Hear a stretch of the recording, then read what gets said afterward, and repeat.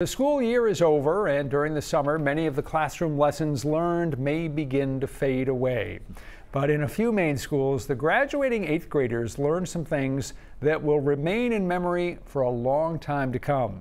207's Don Carrigan is here with that story. Don? Hey, Rob. I didn't have to travel very far for, no, for this, for this assignment because in my hometown of South Bristol, in the same school where I graduated more than 60 years ago, the eighth grade year is so special that parents in some other towns look to send their own kids to that school. That's because the eighth graders spend much of the year building boats.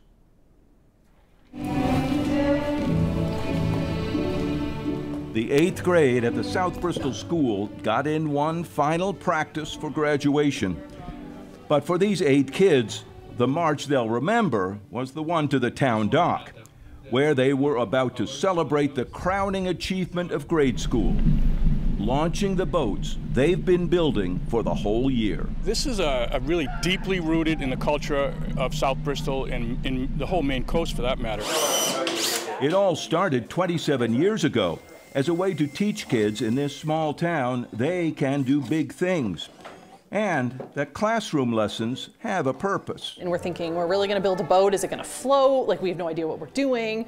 Um, but it was amazing because we got to learn the skills that we were learning in math class. We got to apply while building a boat. In 1996, Amanda Sykes and four others were the first South Bristol eighth grade to build boats. It was great because it, I was the only girl in my class and they ended up surprising me and naming the boat after me. Now Amanda teaches here in the same school and has fond memories of her launch day. And we made a boat and we got in it and it floated and we rode out into the gut and um, it was great. And it's been great for all those other eight grades since, using math to figure angles and dimensions, learning to use the tools, to trust their hands, to be precise and do it right. I could never build a boat.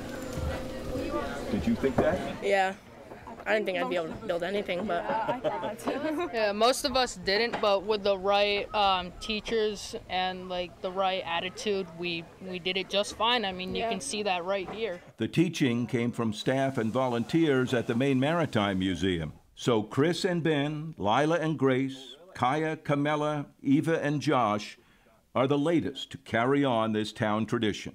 We both worked on doing the longitudinals and inwales and the seats for the boat, and that took a while to do. And, and we had to do a lot of coats. Yeah, the and the sanding, like sanded the whole boat, and it took a while. I've never thought done I had the skills to like yeah build anything like on my own or anything. I mean, it's yeah. a boat. It, it looks, yeah. it's like such a big thing. You're yeah. like, yeah. wow, how, how could I possibly make even something this big? But then you do it. yeah. It was fun to build the boat, but also learning along the way was amazing, and I will never forget this. Yeah, very, yeah, very amazing. In this fishing town where boats are a way of life and where the community loves launch day, Principal Chuck Ham says the boats teach many lessons. They learn how to work with their minds, their hands, and their hearts, and they learn teamwork.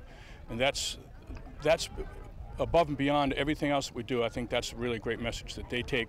They'll take that with them for the rest of their life. Get four and four. Bring somebody else over on this side. So one more time, all their hands work together. So turn it around, bow uphill now, please. Don't scratch the boat. So lift it up, hold on to it, and we want to set it right about there. Center the boat up. Good to go, kiddos. Nice job. Then, on graduation day, a little pomp and circumstance. Class of 2023 is forever part of this long-held tradition in the state of Maine, and we're so proud of all of you.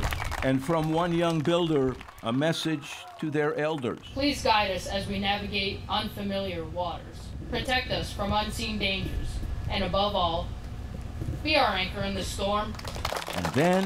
I christen thee Kermit the Frog. Finally, after a long year, it's time. Boys in one boat, girls in the other. Their work now put to the ultimate test in the harbor. And just like that, like eighth grade graduation, they were off. A little unsteady, perhaps. Rowing, like living, takes practice, so a helping hand is sometimes welcome.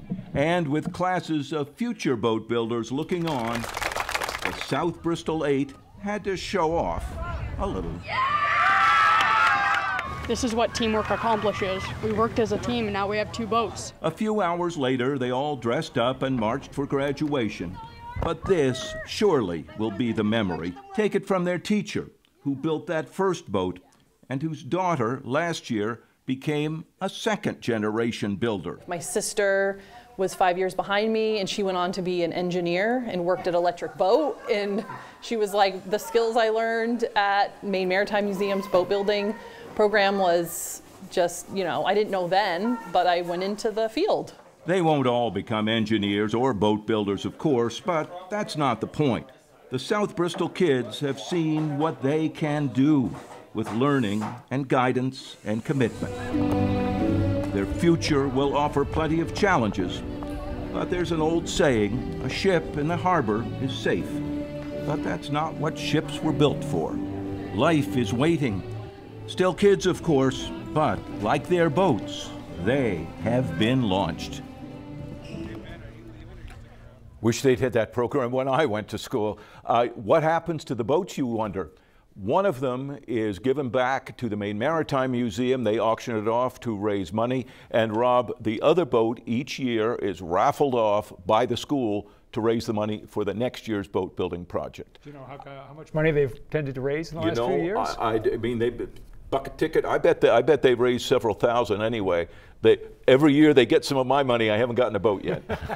Keep buying those tickets, Don. Yeah, I will. Excellent story. Thank you.